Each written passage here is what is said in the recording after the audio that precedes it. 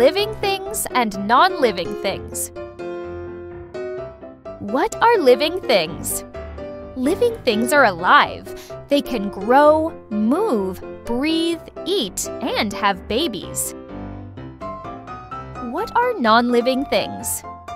Non-living things are not alive. They don't eat, breathe, grow, or have babies. Let's look at some living things. Dogs bark, birds fly, and flowers grow under the sun. Cats meow, and children run and play. Even trees are living things. They grow slowly and need water and sunlight. What do living things do? Living things can do these amazing things. They grow, just like you're growing taller.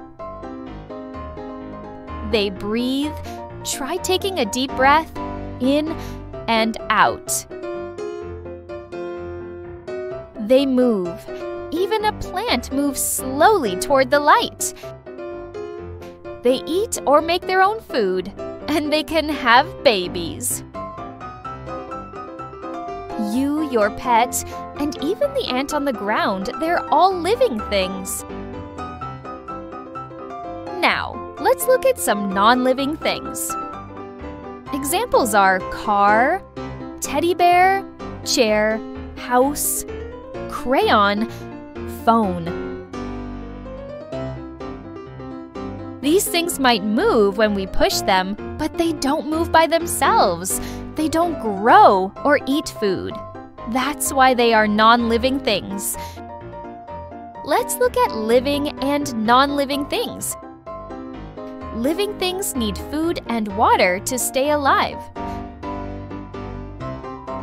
Non-living things do not. Now, I'll show you something.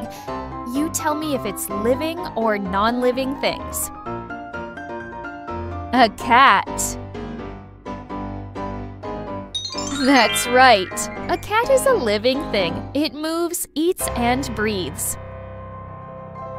Bicycle. Yes, a bicycle is non-living. It can't move or grow on its own. Tree. Great job! A tree is a living thing. It grows and needs sunlight and water.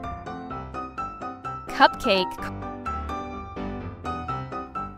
Correct! A cupcake is non-living. It doesn't move or grow, but it sure looks yummy. Frog. That's right! A frog is a living thing. It hops, eats, and breathes. Bed. Yes, a bed is non-living. It stays in one place and doesn't need food or water. Great job, kids! Now you know all about living and non-living things. Don't forget to like, subscribe, and share.